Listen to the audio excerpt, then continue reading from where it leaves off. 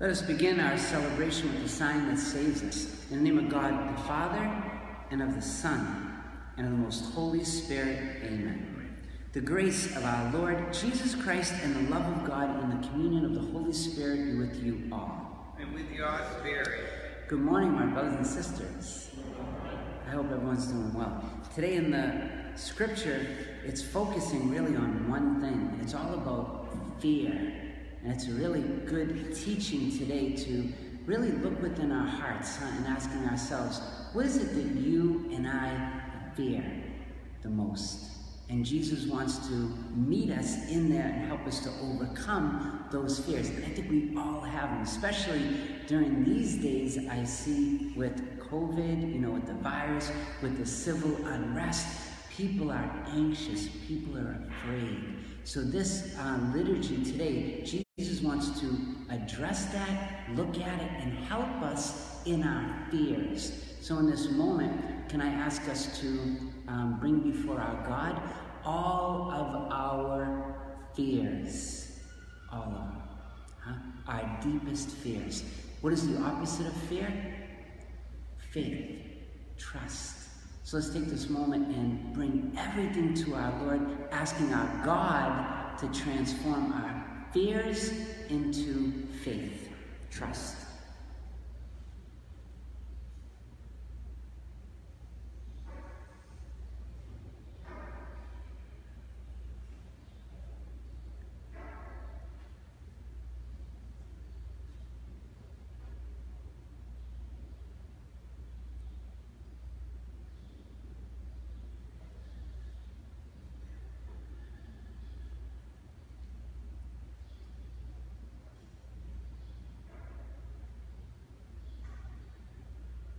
I confess to Almighty God and to you, my brothers and sisters, that I have greatly sinned in my thoughts and in my words, in what I have done and in what I have failed to do. Through my fault, through my fault, through my most grievous fault. Therefore, I ask the Blessed Mary of a Virgin, all the angels and saints, and you, my brothers and sisters, to pray for me to the Lord our God. May Almighty God have mercy on us, forgive us all of our sins, and bring us to everlasting life.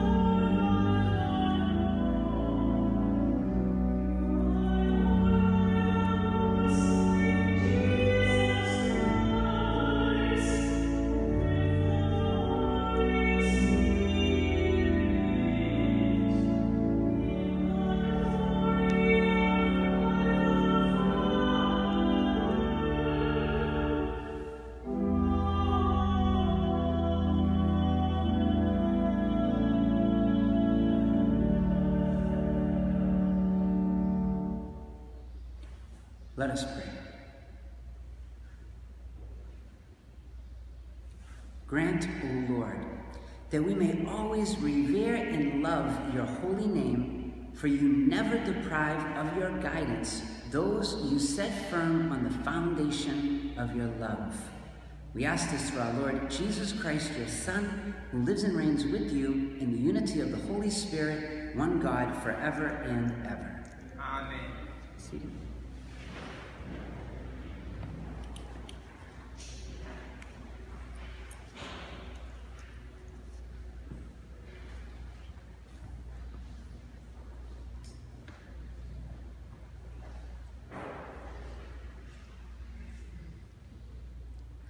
A reading from the book of the prophet Jeremiah. Jeremiah said, I hear the whisperings of many, terror on every side. Denounce, let us denounce him. All those who were my friends are on the watch for any misstep of mine. Perhaps he will be trapped, then we can prevail and take our vengeance on him. But the Lord is with me like a mighty champion. My persecutors will stumble. They will not triumph. In their failure, they will be put to utter shame, to lasting, unforgettable confusion. O Lord of hosts, you who test the just, who probe mind and heart, let me witness the vengeance you take on them. For to you I have entrusted my cause. Sing to the Lord, praise the Lord, for he has rescued the life of the poor from the power of the wicked. The word of the Lord. Thanks be to God.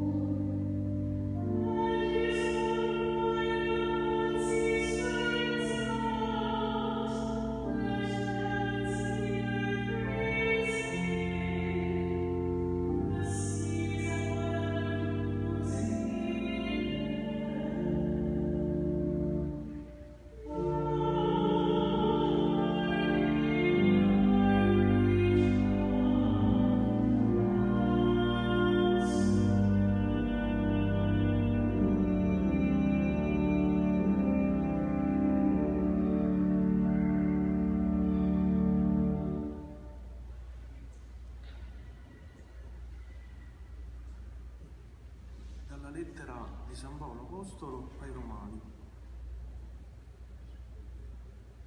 Fratelli, come a causa di un solo uomo il peccato è entrato nel mondo e con il peccato la morte, così tutti gli uomini si è propagata la morte poiché tutti hanno peccato. Fino alla legge infatti c'è il peccato nel mondo e anche se il peccato non può essere imputato quando manca la legge, la morte regnò da Adamo fino a Mosè anche su quelli che non avevano peccato, a somiglianza della trasgressione di Adamo, il quale è figura di colui che doveva venire. Ma il dono di grazia non è come la, la caduta. Se infatti per la caduta di un solo tutti morirono, molto di più la grazia di Dio e il dono concesso in grazia del solo uomo Gesù Cristo si sono riversati in abbondanza su tutti. Parola di Dio.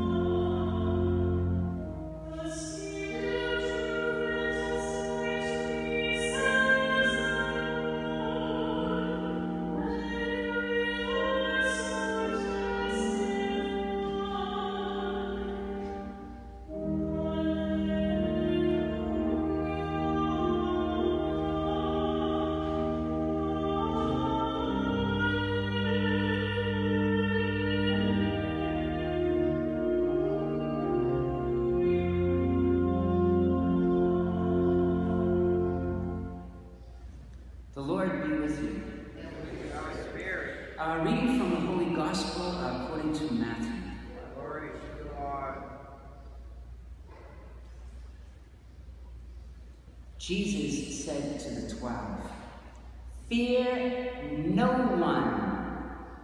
Nothing is concealed that will not be revealed, nor a secret that will not be known. What I say to you in the darkness, speak in the light. What you hear whispered, proclaim on the housetops. And do not be afraid of those who kill the body, but cannot kill the soul. Rather, be afraid of the one who can destroy both soul and body in Gehenna. Are not two sparrows sold for a small coin? Yet not one of them falls to the ground without your Father's knowledge. Even all the hairs of your head are counted. So do not be afraid. You are worth more than many sparrows. Everyone who acknowledges me before others, I will acknowledge before my heavenly Father. But whoever denies me before others, I will deny before my heavenly Father. The Gospel of the Lord.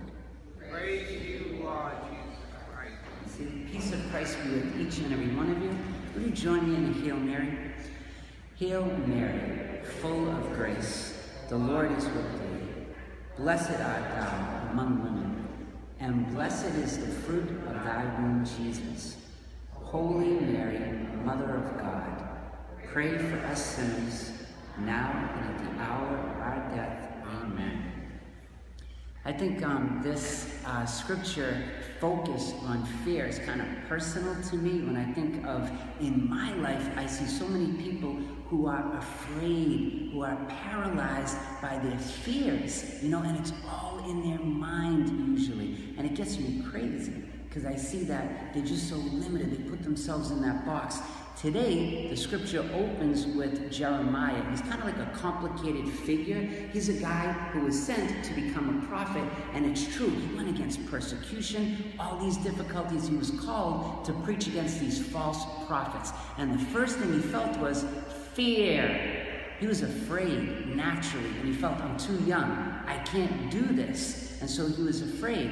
He was afraid for the limitations he saw in himself but he also was afraid of a daunting task. And that's kind of like the two sides of the same coin of fear. It's a mistake I think we all make.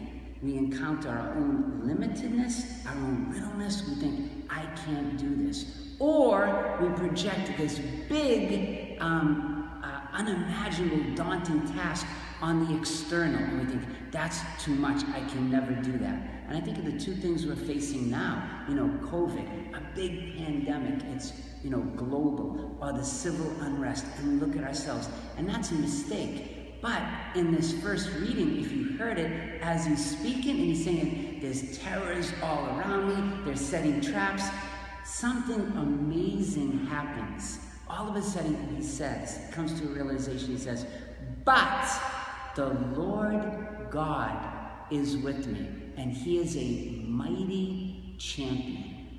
What does he do? It's a game changer. Instead of looking at the two things, my own littleness or the big problem, he chooses a third, and it is faith. Huh? Instead of putting our focus on my littleness or on the big task, he says, God. And what does that mean? Faith conquers fear. It's the antithesis, it's the antidote to fear. And someone didn't learn that, of course, until later was Peter. Do you remember that moment when Peter is actually walking on the water? How he's walking on the water, he's looking at Christ. What happens? He diverts his attention, he starts looking at the wind. Then what does he do? Falls like a rock. Fear, whatever we give into fear, it has a power over us. Huh? What we're called to is faith. And Jesus says powerfully today something so provocative. He says, Fear no one. No one. Fear no one.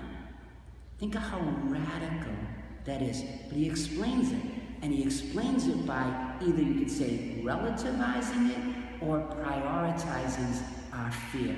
He says, don't be afraid of anyone. If you're going to be afraid, don't be afraid of that person who can kill your body. If you're going to be afraid, be afraid of those who can kill your soul. And who is that? Only God. Huh? Only God. He's saying, put your fear in the right place. God is over everything. I like that little um, uh, point that uh, Emerson wrote. He wrote, Fear paralyzes, faith empowers, fear imprisons, faith liberates, fear disheartens, faith encourages, fear sickens, faith heals. In the scripture, 2 Timothy 7, it says, God did not give us a spirit of fear. He gave us a spirit of courage. He gave us a spirit of faith. Um, even in the uh, Romans in the old times, Seneca once said, We suffer more in our imagination than we do in reality. Think of that statement. We suffer more in our imagination than in our reality.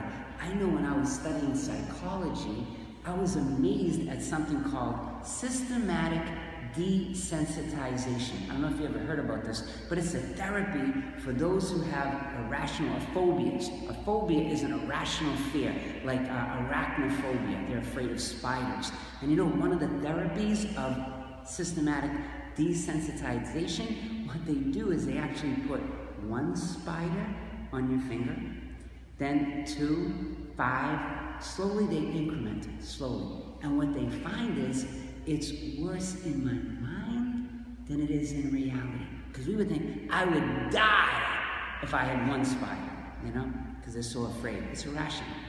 But when they have about a hundred, they're like, oh, okay, it's the worst case scenario, and I'm alive. Huh? It's worse in our mind. Um, St. Francis had the same beautiful story. I don't know if you're familiar with the Wolf of Gubbio. One of our favorite Franciscan stories. There was a wolf terrorizing Gubbio, the city. And he says, I want to go meet the wolf. And he had eaten people. And they're like, Francis, you're crazy. You can't go up and meet the wolf. He will eat you. No, I'm going to face my fears.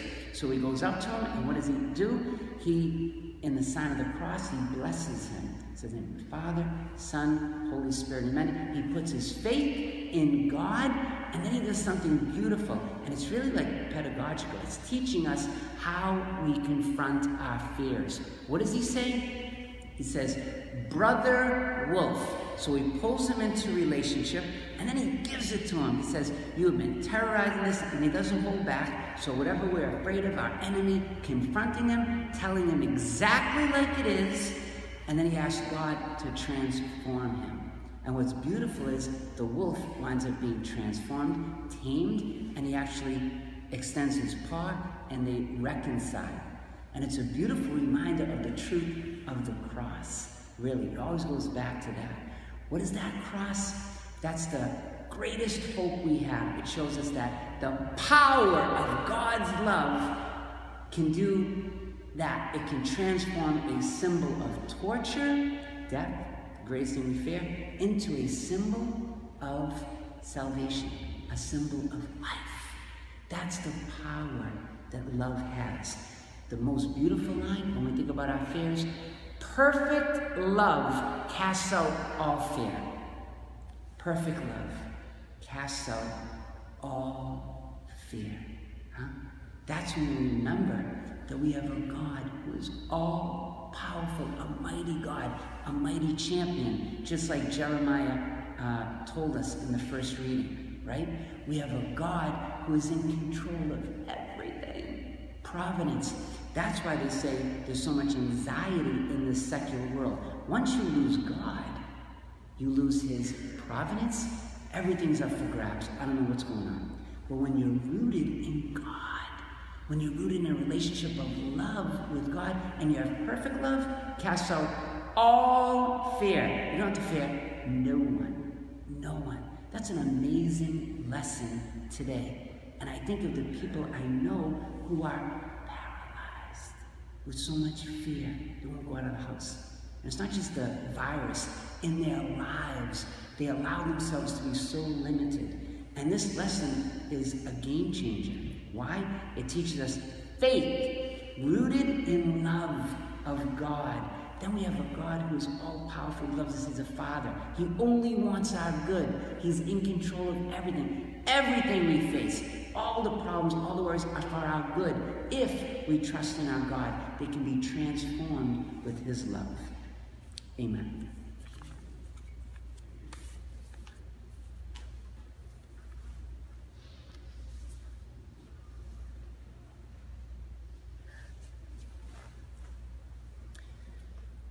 Let us now stand and profess our creed. In our creed, by the way, um, in Latin they use the word for believe, it's um, fidelis. And um, it has a deeper connotation than what we say. We say, I believe in God. Well, I believe there's walls over there, I believe there can't, I believe. That's nothing. Belief in the Latin has a um, connotation of trust. It means I believe and I trust. Sometimes when I'm praying the creed, I often put that in my mind. I don't just believe in God, I trust in God. That's what belief has that depth and that profound meaning of it is when we say that, don't just say, I believe intellectually up here in a sense of the mind, intellectually. No, I believe is a deeper reality. So let us pray that together. I believe in God, the Father, the Almighty, creator of heaven and earth, and in Jesus Christ, his only Son, our Lord who was conceived by the Holy Spirit, born of the Virgin Mary, suffered under Pontius Pilate, was crucified, died, and was buried. He descended into hell. On the third day, he rose again from the dead. He ascended into heaven and is seated at the right hand of God the Father Almighty. And from there, he will come to judge the living and the dead. I believe, that means I trust in the Holy Spirit. I trust, I believe in the Holy Catholic Church. I trust and I believe in the communion of saints. I trust and I believe in the forgiveness of sins, the resurrection of the body, and life everlasting. Amen. Let us now turn our prayer, our hearts to our God, and lift up, trusting in the kindness of our Heavenly Father, let us offer our prayers this day.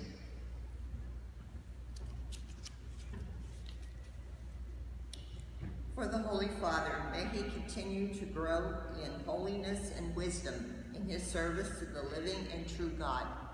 Let us pray to the Lord. Lord, hear our prayer.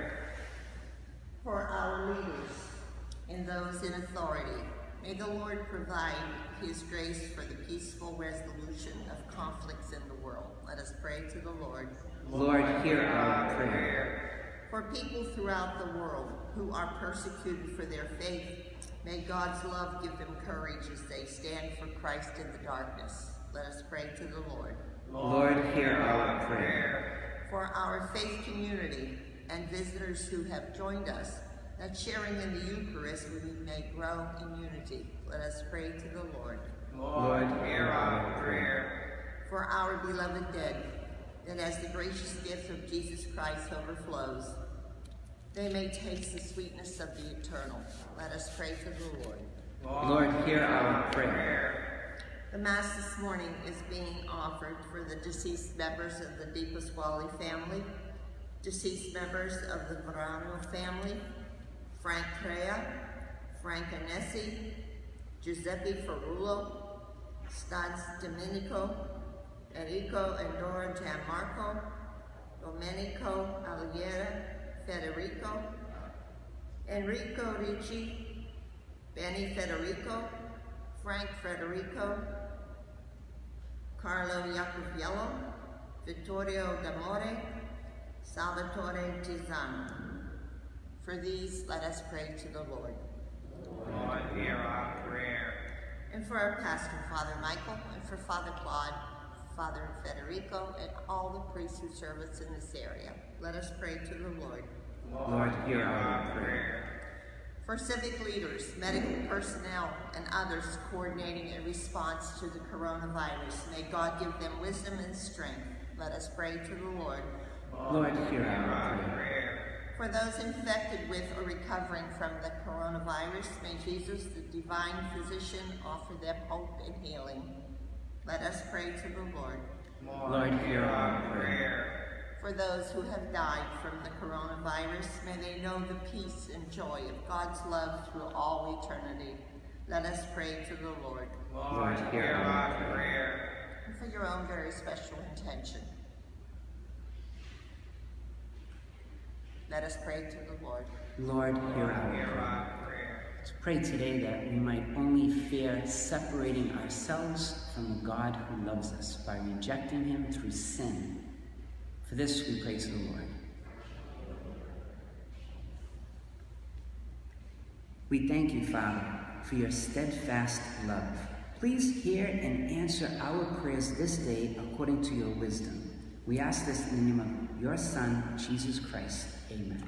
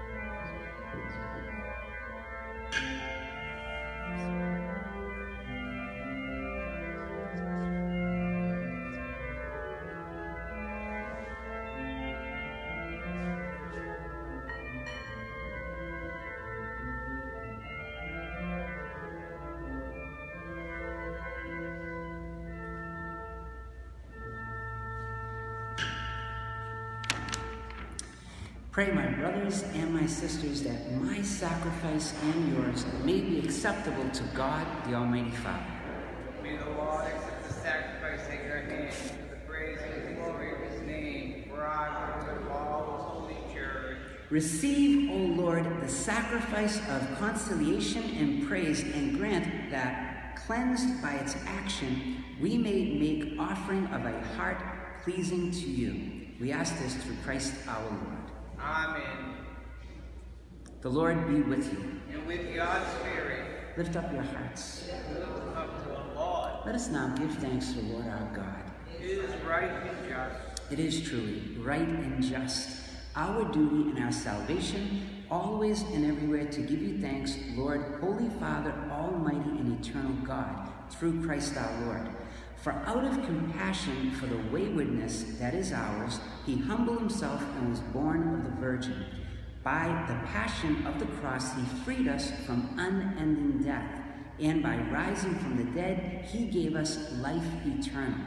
And so, with the angels and the archangels, with the thrones and the dominions, and with all the hosts and powers of heaven, we sing the hymn of your glory as without end we acclaim.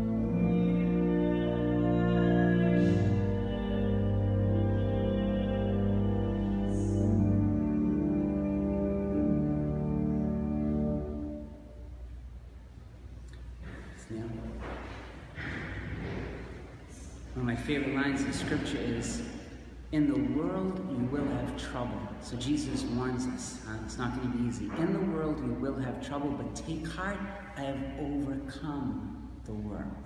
I have overcome it. And this is the love he offers us. Perfect love casts out all fear. This is our Lord. You are indeed holy, O Lord, the font of all holiness.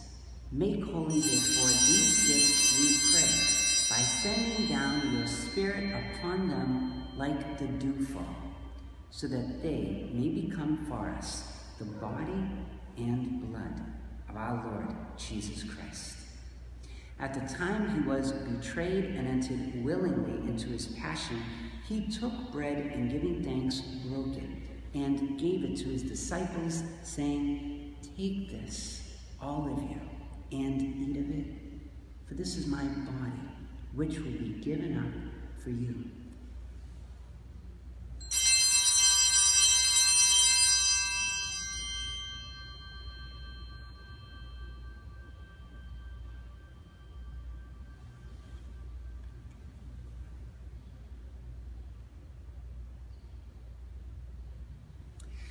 In a similar way, when supper was ended, he took the chalice and once more giving thanks, he gave it to his disciples, saying, Take this, all of you, and drink from it.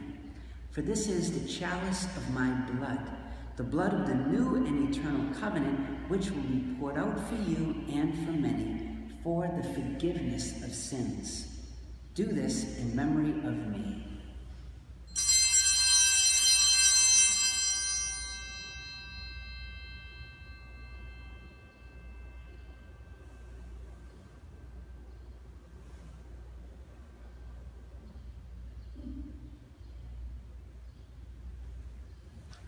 Mystery of faith.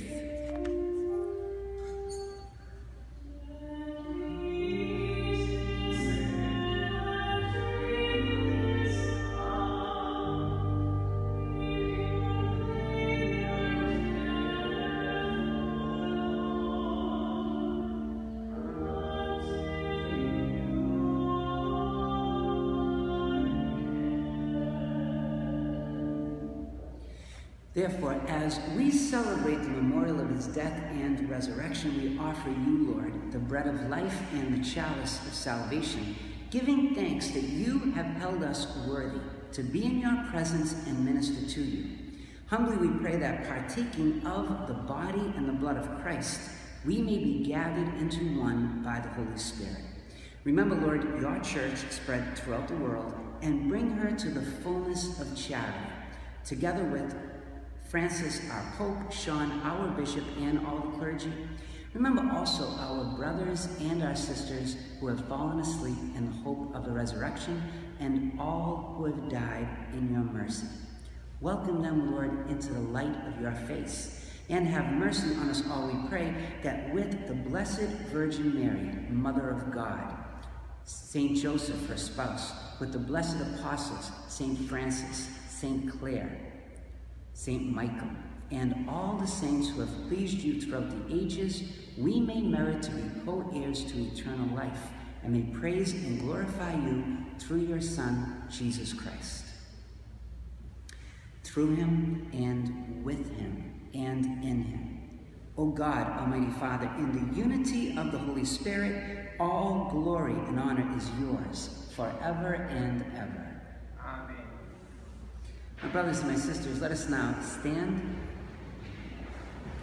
and lifting up our hearts, let us pray in the very words that Jesus himself taught us, and we pray with that filial intimacy, that love of a child for their father, that trusting intimacy that Jesus revealed to us that we have with God the Father. And so we pray, Our Father, who art in heaven, hallowed be thy name. Thy kingdom come, and thy will be done, on earth as it is in heaven. Give us this day our daily bread, and forgive us our trespasses, as we forgive those who trespass against us. And lead us not into temptation, but deliver us from evil. Deliver us, Lord, we pray, from every evil graciously grant peace in our days, that by the help of your mercy we may be always free from sin and safe from all distress as we await the blessed hope and the coming of our Savior, Jesus Christ. For the kingdom, power, glory, yours, now and forever. Lord Jesus Christ, who said to your apostles, Peace I leave you, my peace I give you. Look not on our sins, but on the fate of your church, and graciously grant her peace and unity in accordance with your will, who live and reign forever and ever.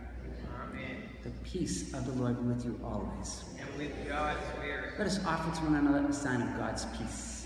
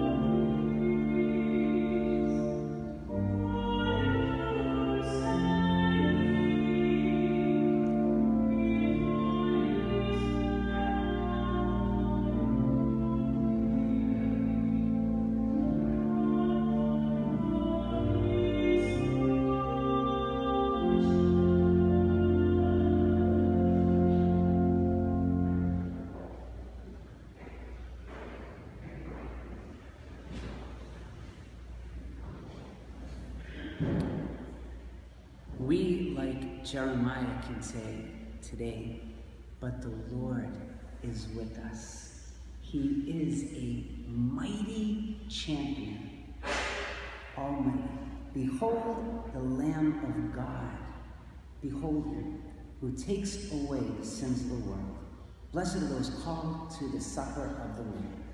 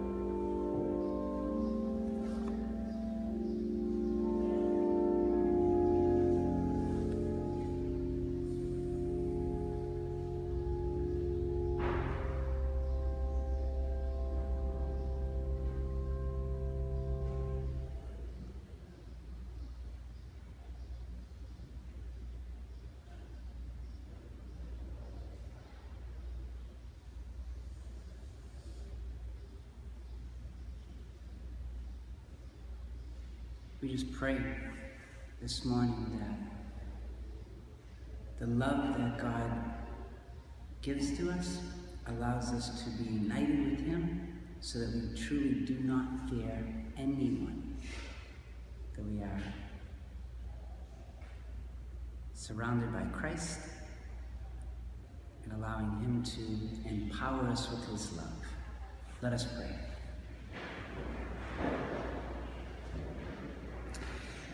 Renewed and nourished by the sacred body and the precious blood of your Son, we ask of your mercy, O Lord, that what we celebrate with constant devotion may be our pledge of redemption. We ask this through Christ our Lord. Amen. The Lord be with you. And with your spirit. May Almighty God now bless you, the Father, Son, and the most Holy Spirit. Amen. Amen. Go in peace. Have a blessed Sunday.